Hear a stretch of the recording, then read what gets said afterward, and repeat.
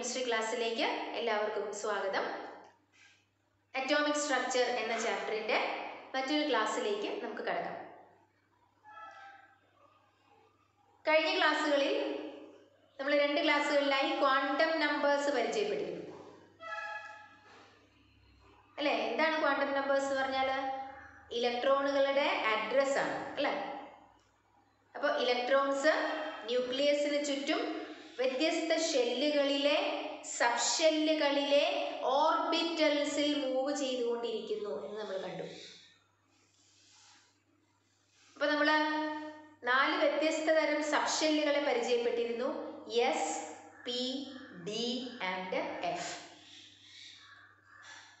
ഈ സബ് ഒക്കെ magnetic quantum number values കണ്ടപ്പോൾ നമുക്ക് മനസ്സിലായി. എസ് സബ്ഷെല്ലിന് ഒരു ഓർബിറ്റലേ ഉള്ളൂ. പി സബ്ഷെല്ലിൽ മൂന്ന് ഓർബിറ്റൽസ് ഉണ്ട്. ഡി സബ്ഷെല്ലിൽ അഞ്ച് ഓർബിറ്റൽസ് ഉണ്ട്. എഫ് സബ്ഷെല്ലിന് ഏഴ് ഓർബിറ്റൽസ് ഉണ്ട്. ഇത്രയും കാര്യങ്ങൾ നമ്മൾ മനസ്സിലാക്കി. ഇനി നമ്മൾ ഇന്ന് പഠിക്കുക ഷേപ്സ് ഓഫ് ഓർബിറ്റൽസ് ഓർബിറ്റലുകളുടെ ആകൃതി എന്താണ്? ഓർബിറ്റൽസ് എല്ലാം ത്രീ ഡയമെൻഷനൽ ആണ് എന്ന് നമ്മൾ മനസ്സിലാക്കിയിരുന്നു. ഇനി അവരുടെ ഷേപ്പ് എന്താണ്? അതാണ് നമ്മൾ ഇന്നത്തെ ക്ലാസ്സിൽ ഡിസ്കസ് ചെയ്യും. നമ്മൾ പറഞ്ഞിരുന്നു ഈ ഓർബിറ്റലുകളെ പറ്റിയുള്ള വിവരം ലഭിക്കുന്നത് ഷ്രോഡിഞ്ചർ ഇക്വേഷന്റെ സൊല്യൂഷനിൽ നിന്നാണ് എന്ന് നമ്മൾ മനസ്സിലാക്കിയിരുന്നു. ഷ്രോഡിഞ്ചർ ഇക്വേഷനെ സോൾവ് ചെയ്യുമ്പോൾ നമുക്ക് സൈ എന്ന് പറയുന്ന വേവ് ഫങ്ഷന് വാല്യൂസ് കിട്ടും എന്ന് പറഞ്ഞു സൈയുടെ ട്രൂ വാല്യൂസിന്റെ എണ്ണം ഓർബിറ്റലുകളുടെ എണ്ണത്തെ റെപ്രസെന്റ് ചെയ്യുന്നു എന്ന് നമ്മൾ പറഞ്ഞിരുന്നു. അപ്പോൾ ഓരോ സൈ വാല്യൂവും ഓരോ ഓർബിറ്റലിനെ റെപ്രസെന്റ് ചെയ്യും എന്ന് നമ്മൾ പറഞ്ഞു. അപ്പോൾ ഈ സൈയുടെ വാല്യൂ നമുക്ക് കിട്ടുക രണ്ട് ഫങ്ഷനുകളുടെ പ്രോഡക്റ്റ് ആയിട്ടാണ്. എന്ന് പറഞ്ഞാൽ ന്യൂക്ലിയസിൽ നിന്നുള്ള ഡിസ്റ്റൻസ് മാറുന്നതനുസരിച്ച് സൈ വാല്യൂവിന് വ്യത്യാസം വരാം. കൂടാതെ ന്യൂക്ലിയസിന് ചുറ്റും വ്യത്യസ്ത ആക്സിസുകളിൽ X Y and Z Cartesian ആക്സിസുകളിൽ ഇലക്ട്രോണുകളുടെ കാണാനുള്ള സാധ്യത ഒരേപോലെ ആയിരിക്കില്ല. സാധ്യതയ്ക്ക് വ്യത്യാസമുണ്ടാവാം. അപ്പോൾ psi value depends on distance from the nucleus അപ്പോൾ നമ്മൾ പറയും സൈയുടെ വാല്യൂ ന്യൂക്ലിയസിൽ നിന്നുള്ള അകലത്തെ ഡിപ്പെൻഡ് ചെയ്താൽ നമ്മൾ അതിനെ റേഡിയൽ ഡിപ്പെൻഡൻസ് എന്ന് വിളിക്കും. റേഡിയൽ ഡിപ്പെൻഡൻസ് ഇനി വ്യത്യസ്ത ആക്സിസുകളിൽ ഇലക്ട്രോണിനെ കാണാനുള്ള സാധ്യത വ്യത്യാസമാണ് എന്ന് പറയും. So psi value varies with varies at different angles around the nucleus that is called angular dependence അപ്പോൾ നമുക്ക് സൈയുടെ വാല്യൂ കിട്ടുക. റേഡിയൽ ഡിപ്പെൻഡൻസിന്റെ വേവ് ഫംഗ്ഷന്റെയും ആംഗുലാർ ഡിപ്പെൻഡൻസിന്റെ വേവ് ഫംഗ്ഷന്റെയും പ്രോഡക്റ്റ് ആയിട്ട്. Psi is equal to psi R into psi angular psi R എന്ന് പറഞ്ഞാൽ value of psi with respect to distance from the nucleus psi angular എന്ന് പറഞ്ഞാൽ value of psi at different angles around the nucleus അപ്പോൾ Schrodinger ഇക്വേഷനെ solve ചെയ്യുമ്പോൾ psi value കിട്ടുക രണ്ട് ഫംഗ്ഷനുകളുടെ പ്രോഡക്റ്റ് ആയിട്ടാണ് സൈ ആർ അഥവാ psi radial into psi angular psi R എന്ന് ഉദ്ദേശിക്കുക ഒരിക്കൽ കൂടെ പറയാണ് ന്യൂക്ലിയസിൽ നിന്നുള്ള അകലം സൈക്ക് ഉണ്ടാകുന്ന വ്യത്യാസമാണ് സൈ റേഡിയൽ ന്യൂക്ലിയസിന് ചുറ്റും വ്യത്യസ്ത ആംഗിൾസിൽ അല്ലെങ്കിൽ വ്യത്യസ്ത ആക്സിസുകളിൽ സൈ വാല്യൂ ഉണ്ടാകുന്ന വ്യത്യാസമാണ് സൈ ആംഗുലാർ എന്ന് നമ്മൾ എഴുതുക. ഇനി നമ്മൾ എസ് ഓർബിറ്റൽസിന്റെ കേസിൽ സൈ വാല്യൂ കിട്ടുമ്പോൾ അതിന് ഈ ആംഗുലാർ പാർട്ട് ഉണ്ടാവില്ല. പകരം റേഡിയൽ പാർട്ട് മാത്രമേ ഉണ്ടാവൂ. അതിന്റെ അർത്ഥം ന്യൂക്ലിയസിൽ നിന്നുള്ള അകലം മാറുന്നതനുസരിച്ച് എസ് ഓർബിറ്റൽസിനെ കാണാൻ അല്ലെങ്കിൽ എസ് ഇലക്ട്രോണുകളെ കാണാനുള്ള സാധ്യതയ്ക്ക് വ്യത്യാസം വരും. പക്ഷേ ന്യൂക്ലിയസിന് ചുറ്റും എല്ലാ സ്ഥലങ്ങളിലും എക്സ് ആക്സിസിലും വൈ ആക്സിസിലും ഇസഡ് ആക്സിസിലും ഇലക്ട്രോൺസിനെ കാണാനുള്ള സാധ്യത ഒരേപോലെയാണ്. ആംഗുലാർ ഡിപ്പെൻഡൻസ് ഇല്ല. എന്ന് പറഞ്ഞാൽ ന്യൂക്ലിയസിന് ചുറ്റും എക്സ് ആക്സിസിലും വൈ ആക്സിസിലും ഇസഡ് ആക്സിസിലും എസ് ഇലക്ട്രോണുകളെ അഥവാ എസ് ഓർബിറ്റലിനെ കാണാനുള്ള സാധ്യത ഒരേപോലെയാണ്. പക്ഷെ ന്യൂക്ലിയസിൽ നിന്നുള്ള അകലം മാറുന്നതനുസരിച്ച് എസ് ഓർബിറ്റലുകളെ കാണാനുള്ള സാധ്യത വ്യത്യാസപ്പെടും. അപ്പോൾ ന്യൂക്ലിയസിന് ചുറ്റും എക്സ് വൈ ഇസഡ് ആക്സിസുകളിൽ ഇലക്ട്രോണിനെ കാണാനുള്ള സാധ്യത ഒരേപോലെ ആയതുകൊണ്ട് നമ്മൾ പറയും എസ് ഓർബിറ്റൽസിന്റെ ഷേപ്പ് സ്ഫെറിക്കലി സിമെട്രിക്കൽ ആണ് സ്ഫെറിക്കലി സിമെട്രിക്കൽ എന്ന് പറഞ്ഞാൽ ന്യൂക്ലിയസിന് ചുറ്റും എക്സ് ആക്സിസിലും വൈ ആക്സിസിലും ഇസഡ് ആക്സിസിലും എസ് ഓർബിറ്റലിനെ കാണാനുള്ള സാധ്യത ഒരേപോലെ. അപ്പോൾ എസ് ഓർബിറ്റലിന്റെ ഷേപ്പ് സ്ഫെറിക്കലി സിമെട്രിക്കൽ ആണ് എന്ന് പറയും. അതിന്റെ കാരണം സൈ എസ് ഓർബിറ്റലിന്റെ കേസിൽ സൈ വാല്യൂവിന് ആംഗുലാർ പാർട്ട് ഇല്ല റേഡിയൽ പാർട്ട് മാത്രമേ ഉള്ളൂ. ഇനി നമ്മൾ പറഞ്ഞു ഈ സൈ വാല്യൂ മാത്രം കണ്ടാൽ നമുക്ക് ഇലക്ട്രോൺസ് എവിടെ ഉണ്ടാകും എന്ന് ഉറപ്പിക്കാൻ പറ്റില്ല. പകരം സൈ വാല്യൂവിന്റെ സ്ക്വയർ എടുക്കണം എന്ന് പറഞ്ഞു. അപ്പൊ നമ്മളൊരു ഗ്രാഫ് കൺസ്ട്രക്ട് ചെയ്യാൻ പോവാണ്. ആ ഗ്രാഫിൽ നമ്മൾ പ്ലോട്ട് ചെയ്യുക. ഈ സൈ ആർ റേഡിയൽ വേവ് ഫംഗ്ഷന്റെ സ്ക്വയർ സൈ ആർ സ്ക്വയറിനെ വൈ ആക്സിസിലും ഡിസ്റ്റൻസ് ആർ ഫ്രം ദ ന്യൂക്ലിയസിനെ എക്സ് ആക്സിസിലും പ്ലോട്ട് ചെയ്യുന്നു. അപ്പൊ സൈ ആർ സ്ക്വയറിന്റെ വാല്യൂ ആണ്. ന്യൂക്ലിയസിന് ചുറ്റും ഏതൊക്കെ അകലങ്ങളിൽ ഇലക്ട്രോൺസിനെ കാണാൻ സാധ്യതയുണ്ട് എന്ന് പ്രഡിക്റ്റ് ചെയ്യാൻ നമ്മളെ സഹായിക്കുക. നമ്മൾ പറഞ്ഞതാണ് നേരത്തെ. സോ സൈ ആർ സ്ക്വയറിനെ നമ്മളൊരു പേര് പറഞ്ഞിരുന്നു. പ്രോബബിലിറ്റി ഡെൻസിറ്റി ഇപ്പൊ നമ്മളിവിടെ എസ് ഓർബിറ്റൽസിന്റെ കേസിൽ അതിന് സൈ ആർ മാത്രമേ ഉള്ളൂ psi is equal to psi R ആണ് ആ സൈ ആർ സ്ക്വയറും ന്യൂക്ലിയസിൽ നിന്നുള്ള ഡിസ്റ്റൻസ് ആറും കൂടി ഒരു ഗ്രാഫ് പ്ലോട്ട് ചെയ്യുന്നു. അപ്പോൾ ന്യൂക്ലിയസിന് ചുറ്റും എല്ലാ ഷെല്ലുകളിലും എസ് ഓർബിറ്റൽസ് ഉണ്ട്. One S two S three S etcetera അപ്പോൾ ഞാനിവിടെ വൺ എസ് ഓർബിറ്റലിന്റെ കേസിൽ എനിക്ക് കിട്ടുന്ന സൈ ആർ വാല്യൂവിനെ അതിന്റെ സ്ക്വയർ എടുത്തു. അതിനെ വൈ ആക്സിസിൽ പ്ലോട്ട് ചെയ്തു. ഡിസ്റ്റൻസ് മാറുന്നതനുസരിച്ച് സൈ വാല്യൂ വ്യത്യാസം വരും. അപ്പം ഡിസ്റ്റൻസ് ആറിനെ എക്സ് ആക്സിസിലും ആ ഡിസ്റ്റൻസിന് കറസ്പോണ്ടിങ് ആയി കിട്ടിയ സൈ ആറിന്റെ വാല്യൂവിന്റെ സ്ക്വയറിനെ വൈ ആക്സിസിലും പ്ലോട്ട് ചെയ്തു. അപ്പോൾ കിട്ടിയ ഗ്രാഫിന്റെ ഷേപ്പ് ലൈക്ക് ദിസ് എങ്ങനെയാണ്?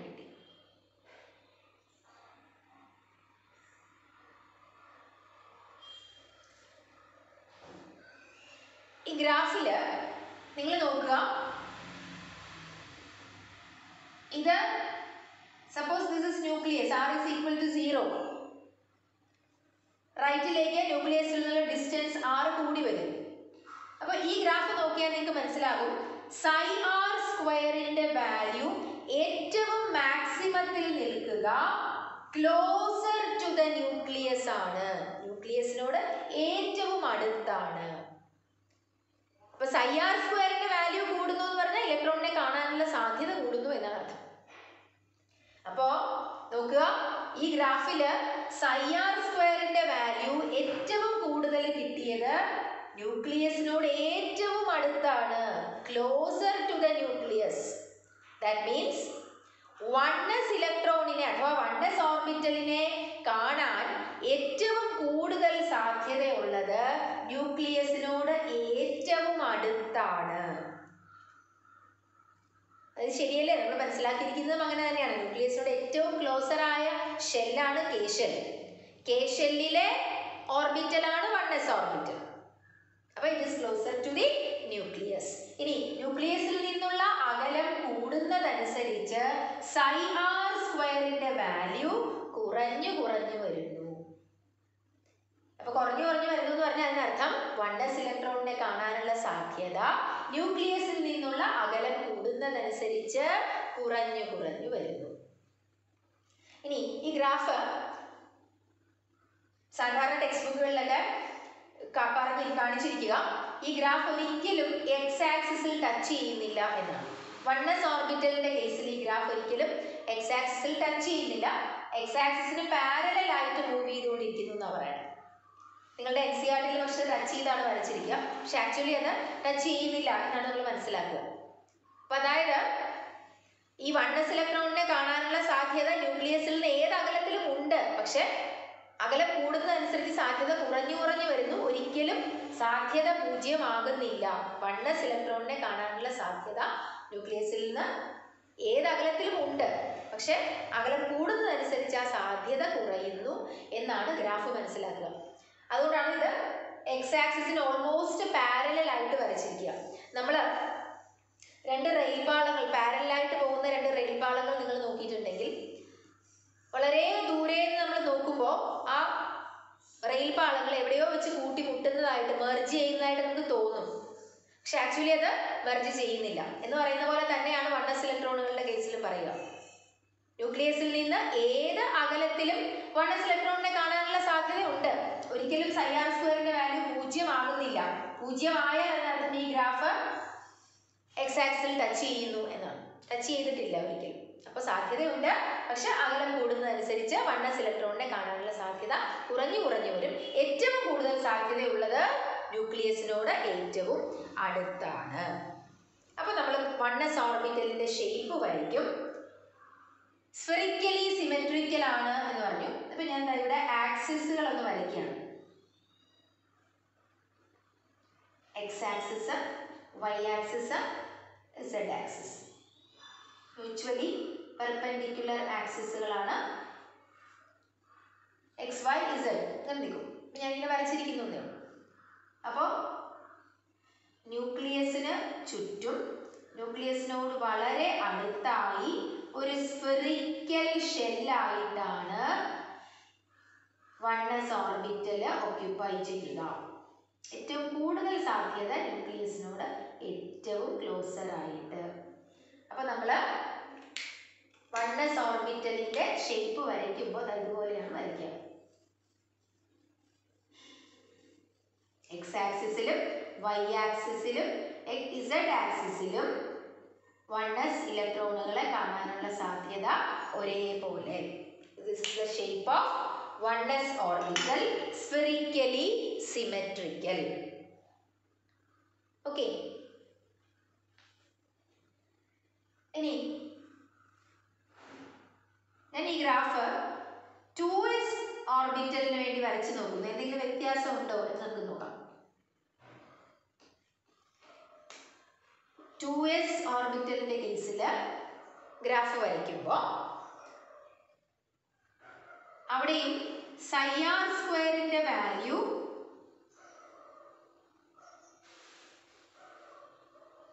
ആദ്യം ന്യൂക്ലിയസിനോട് അടുത്ത് തന്നെയാണ് മാക്സിമത്തിൽ നിൽക്കുക.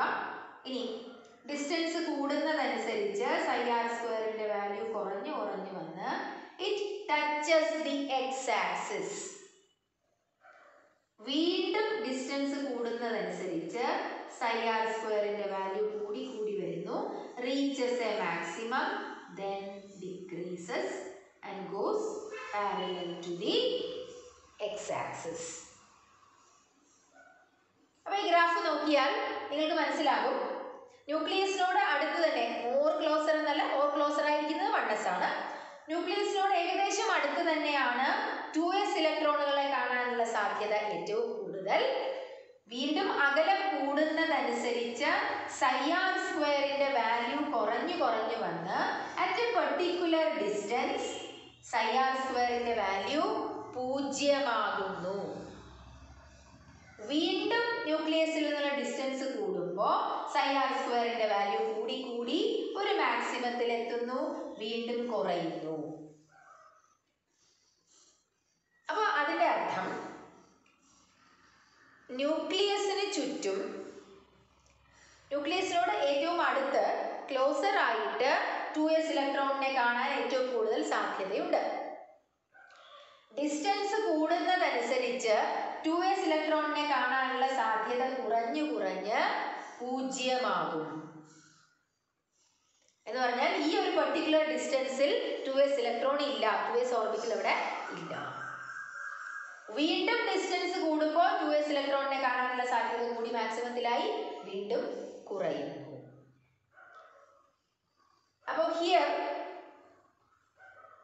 there is a point at a particular distance from the nucleus where psi r square is zero.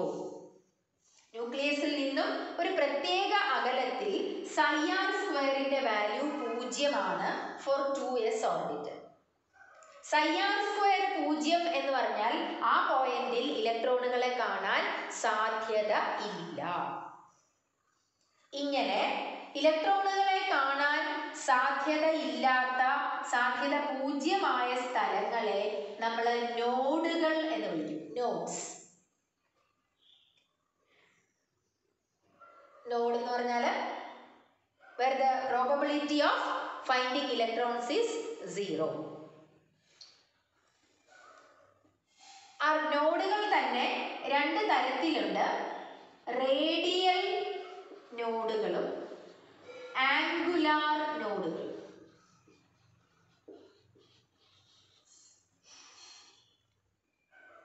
ന്യൂക്ലിയസിൽ നിന്നുള്ള വ്യത്യസ്ത അകലങ്ങളിൽ ഇലക്ട്രോണിനെ കാണാൻ സാധ്യതയില്ലാത്ത സ്ഥലങ്ങളാണ് റേഡിയൽ നോഡുകൾ. അത് നമുക്ക് സയ്യാർ സ്ക്വയറിന്റെ വാല്യൂ വെച്ച് ഗ്രാഫ് വരയ്ക്കുമ്പോഴാണ് മനസ്സിലാവുക. ഇനി ന്യൂക്ലിയസിന് ചുറ്റും വ്യത്യസ്ത ആക്സിസുകളിൽ അല്ലെങ്കിൽ വ്യത്യസ്ത ആംഗിൾസിൽ ഇലക്ട്രോൺസിനെ കാണാൻ സാധ്യത പൂജ്യമായ സ്ഥലങ്ങളാണ് ആംഗുലാർ നോഡുകൾ. അപ്പൊ ഇപ്പൊ നമ്മൾ കൺസിഡർ ചെയ്യുന്നത് സൈ ആർ ആണ്. ഡിസ്റ്റൻസ് അനുസരിച്ച് സൈക്കുള്ള വാല്യൂ ആണ്. അപ്പോൾ നമ്മൾ ഇവിടെ കൺസിഡർ ചെയ്യുക റേഡിയൽ നോഡുകളാണ് എന്ന് പറഞ്ഞാൽ ന്യൂക്ലിയസിൽ നിന്നും വ്യത്യസ്ത അകലങ്ങളിൽ ഇലക്ട്രോൺസിനെ കാണാൻ സാധ്യത പൂജ്യമായ സ്ഥലങ്ങളാണ് റേഡിയൽ നോഡുകൾ. അപ്പോൾ ഇവിടെ ടു എസിന്റെ കേസിൽ ഗ്രാഫ് വരച്ചപ്പോൾ ഒരു പ്രത്യേക അകലത്തിൽ സയാർ സ്ക്വയറിന്റെ വാല്യൂ പൂജ്യമായി. എന്ന് പറഞ്ഞാൽ ഇവിടെ ഒരു റേഡിയൽ നോഡ് ഉണ്ട്. ഇലക്ട്രോണിനെ കാണാനുള്ള സാധ്യത പൂജ്യം. പിന്നെ ഏതെങ്കിലും അകലത്തിൽ ഇലക്ട്രോണിനെ ടു എസ് ഇലക്ട്രോണിനെ കാണാനുള്ള സാധ്യത പൂജ്യമാകുന്നുണ്ടോ? ഇല്ല. ഒരു സ്ഥലത്തും പിന്നീട് ഗ്രാഫ് എക്സ് ടച്ച് ചെയ്യുന്നില്ല. സൈആർ സ്ക്വയർ പൂജ്യമാകുന്നില്ല. അപ്പൊ അതിനർത്ഥം ടു എസ് സബ്ഷെല്ലിന് അല്ലെങ്കിൽ ടു എസ് ഓർബിറ്റലിന് ഒരു റേഡിയൽ നോഡുണ്ട് അപ്പൊ ടു എസ് സബ്ഷെല്ലിന്റെ ഷേപ്പ് നമ്മൾ വരയ്ക്കുമ്പോൾ എക്സ് വൈ ഇസഡ് ആക്സിസ് ന്യൂക്ലിയസിനോട് ഏറ്റവും അടുത്ത് കുറച്ച് അടുത്തായിട്ട് ടു എസ് ഇലക്ട്രോണുകളെ കാണാൻ സാധ്യതയുള്ള ഒരു സ്ഫെറിക്കൽ ഷെല്ലുണ്ട് അത് കഴിഞ്ഞാൽ ഒരു പ്രത്യേക പോയിന്റിൽ ഇലക്ട്രോണിനെ കാണാൻ സാധ്യതയില്ല. വീണ്ടും മറ്റൊരു അകലത്തിൽ ഇലക്ട്രോണിനെ കാണാനുള്ള സാധ്യത കൂടി കൂടി വരുന്നു. അപ്പൊ നമ്മൾ പടം വരയ്ക്കുമ്പോൾ ടു എസ് സബ്ഷെല്ലിന്റെ പടം വരയ്ക്കുമ്പോൾ രണ്ട് സ്ഫെറിക്കൽ ഷെല്ലുകളായിട്ടാണ് വരയ്ക്കുക.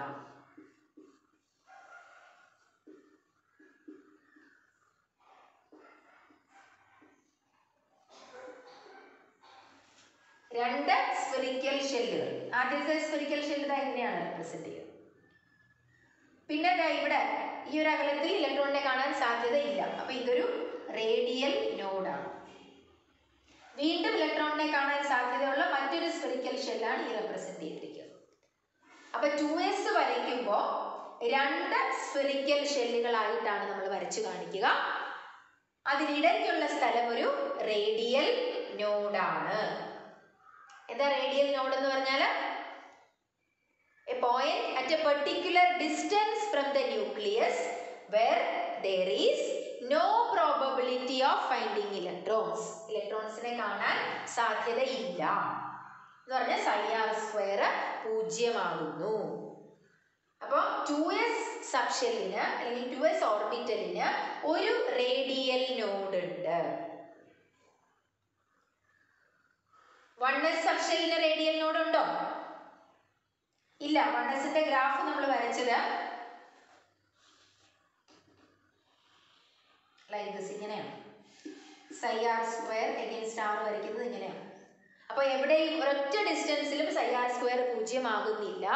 അപ്പോൾ വൺ എസ് ഓർബിറ്റലിന് റേഡിയൽ നോഡ് ഇല്ല ഒറ്റ സ്ഫെറിക്കൽ ഷെല്ലേ ഉള്ളൂ. ടു എസ് ഓർബിറ്റലിന് രണ്ട് റേഡിയൽ നോഡ്സ് ഉണ്ട്.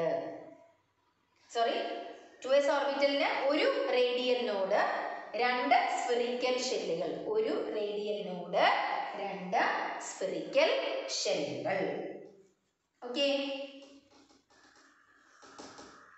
നമ്മൾ നമുക്ക് വൺ എസും ടു എസും മാത്രമേ പഠിക്കാനുള്ളൂ. നമ്മൾ ത്രീ എസിന്റെ കേസിൽ ഈ ഗ്രാഫ് വരയ്ക്കുകയാണെങ്കിൽ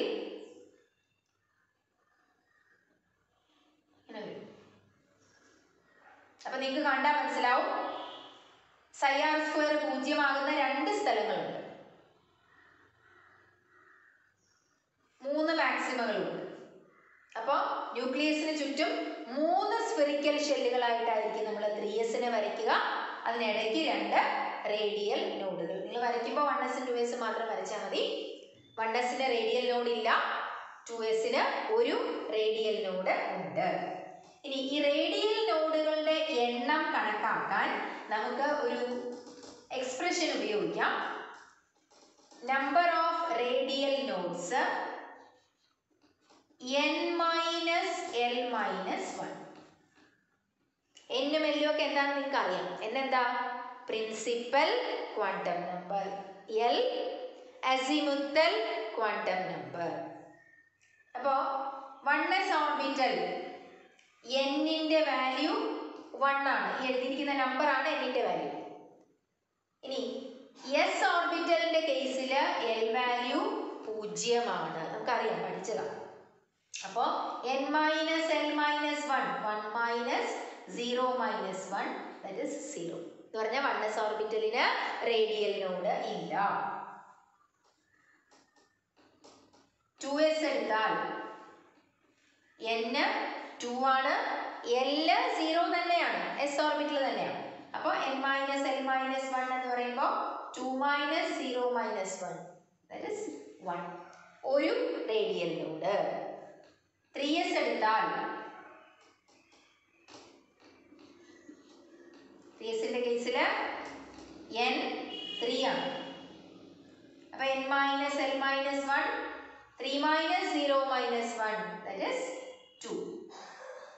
രണ്ട് റേഡിയൽ നോഡുകളുണ്ട് ത്രീ എസ് ഓർബിറ്റലിന് വൺ എസിന് റേഡിയൽ നോഡ് ഇല്ല ടു എസിന് ഒരു റേഡിയൽ നോഡ് ത്രീ എസിന് രണ്ട് റേഡിയൽ നോഡ് ഫോർ എസിന് മൂന്ന് റേഡിയൽ നോഡ് എക്സെട്ര അങ്ങനെയാണെങ്കിൽ for N N S orbital there will be N minus one radial nodes for an N ns orbital. There will be n minus 1 radial nodes. Radial നോഡുകളുടെ എണ്ണം കണക്കാക്കുന്നത് N minus L minus one എന്നാണ്. ഏത് ഓർബിറ്റലിന്റെയും radial നോഡുകളുടെ എണ്ണം കണക്കാക്കുക N minus L minus one എന്നാണ്. നമ്മളിപ്പോൾ എസ് ഓർബിറ്റലാണ് പഠിച്ചുകൊണ്ടിരുന്നത്. അതുകൊണ്ട് എസ് ഓർബിറ്റലിന്റെ കേസിൽ മാത്രം നമ്മൾ റേഡിയൽ നോഡുകൾ കണക്കാക്കി നോക്കി. അപ്പോൾ നമ്മൾ വൺ എസും ടു എസും കണ്ടു. അതുപോലെ സിക്സ് എസ് എത്ര റേഡിയൽ നോട്ട്സ് ഉണ്ടാവും? സിക്സ് മൈനസ് വൺ അഞ്ച് റേഡിയൽ നോട്ട്സ് ഉണ്ടാകും so for N N S orbital there will be N minus one radial nodes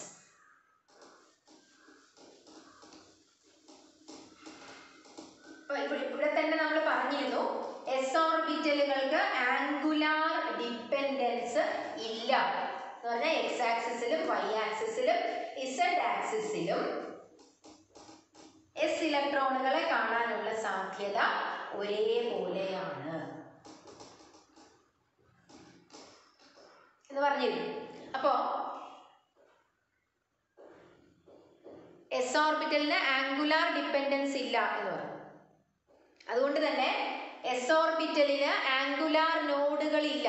കാരണം എക്സിലും വൈയിലും ഇസഡിലും എസ് ഇലക്ട്രോണിനെ കാണാനുള്ള സാധ്യത ഒരേപോലെയാണ്. എവിടെയും സാധ്യത ഒരു ആംഗിളിലും സാധ്യത പൂജ്യമാകുന്നില്ല. അതുകൊണ്ട് നമ്മൾ പറയും എസ് ഓർബിറ്റലിന് ആംഗുലാർ നോഡ്സ് ഇല്ല. ഇനി നമ്പർ ഓഫ് ആംഗുലാർ നോഡ്സ് കണ്ടുപിടിക്കാൻ നമ്മളൊരു ഇക്വേഷൻ ഉപയോഗിക്കുന്നുണ്ട്. ആംഗുലാർ നോഡുകളുടെ എണ്ണം എന്ന് പറയുന്നത് അതിന്റെ എൽ വാല്യൂ ആണ്. ഒരു ഓർബിറ്റലിന്റെ ആംഗുലാർ നോഡ് എത്ര എണ്ണം ഉണ്ട് എന്ന് ചോദിച്ചാൽ അതിന്റെ എൽ വാല്യൂ ആണ്. അപ്പോൾ എസ് ഓർബിറ്റൽ എടുത്താൽ L is equal to zero എന്ന് പറഞ്ഞാൽ ആംഗുലാർ നോഡുകളുടെ എണ്ണം പൂജ്യമാണ്. അപ്പൊ എസ് ഓർബിറ്റൽസിന് ആംഗുലാർ നോഡ്സ് ഇല്ല. അപ്പൊ വ്യത്യാസം മനസ്സിലായോ? റേഡിയൽ നോഡ് എന്ന് പറഞ്ഞാൽ ന്യൂക്ലിയസിൽ നിന്നും വ്യത്യസ്ത അകലങ്ങളിൽ ഇലക്ട്രോണിനെ കാണാനുള്ള സാധ്യത പൂജ്യമായ സ്ഥലങ്ങൾ. അപ്പോൾ നമ്പർ ഓഫ് റേഡിയൽ നോഡ്സ് കണ്ടുപിടിക്കാൻ നമ്മൾ ഉപയോഗിക്കുന്ന ഇക്വേഷൻ ആണ് N minus L minus one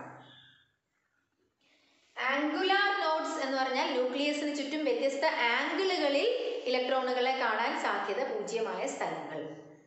angular നോഡുകളുടെ എണ്ണം കണക്കാക്കാൻ നമ്മൾ ഉപയോഗിക്കുന്നത് എൽ ആണ്.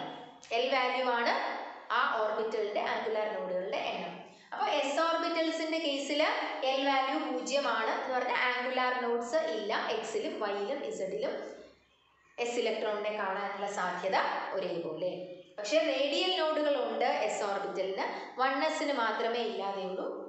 ബാക്കി എല്ലാ എസ് ഓർബിറ്റൽസിനും റേഡിയൽ നോട്ട്സ് ഉണ്ട്. അതാണ് നമ്മൾ നേരത്തെ പറഞ്ഞ എസ് ഓർബിറ്റലിന്റെ കേസിൽ എൽ വാല്യൂ പൂജ്യമാണ്. അപ്പോൾ number of radial nodes